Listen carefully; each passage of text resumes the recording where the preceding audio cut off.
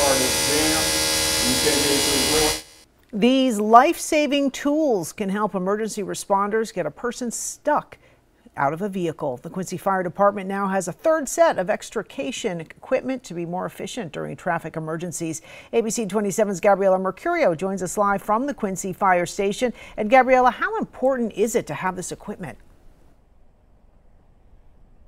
New life-saving equipment that can reduce the amount of time to get a person who's stuck in their vehicle out after an accident is now in use here at Fire Station 2 in Quincy.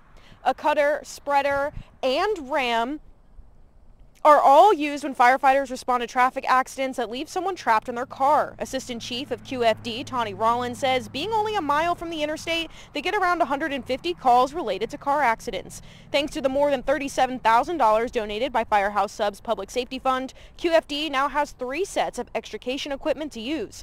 Rollins says the new equipment is battery operated, making it faster and more efficient in a life or death situation. Instead of having to set up the generator and the tool and connecting them together, you can just put a battery in that one and, um, and it operates a lot smoother and faster.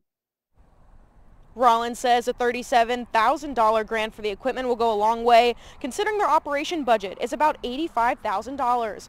Rollins says that new equipment will always be on a fire engine and is now ready to use whenever it's needed.